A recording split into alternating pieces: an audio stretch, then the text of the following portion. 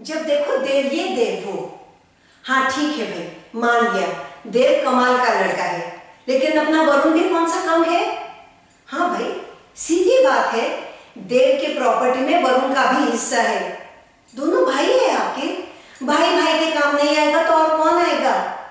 और हमने भी कम त्याग नहीं किया है देव के लिए। अपने हाथों से खाना खिलाया है।